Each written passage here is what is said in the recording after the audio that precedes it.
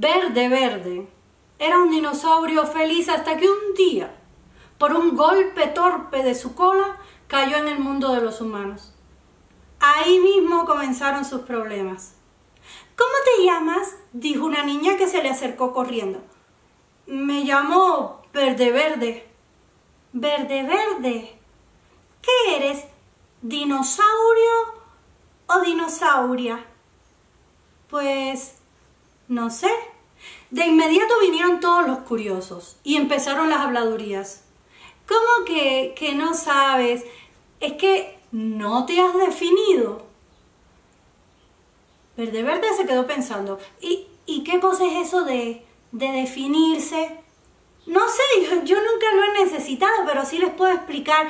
Eh, a mí me gusta nadar en el río y también me encantan las flores y también levanto pesas. Y de todas mis joyas, la que más me gusta es este collar.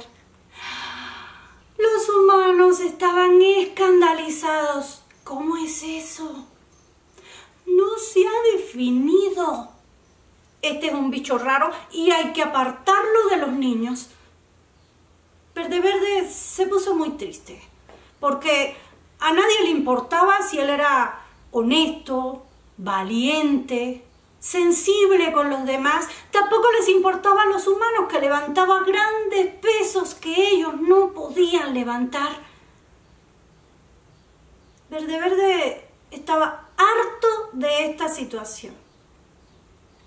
Por eso, un día se tatuó una rosa en su mejilla se colgó un cartel en el medio del pecho que decía, soy verde, verde.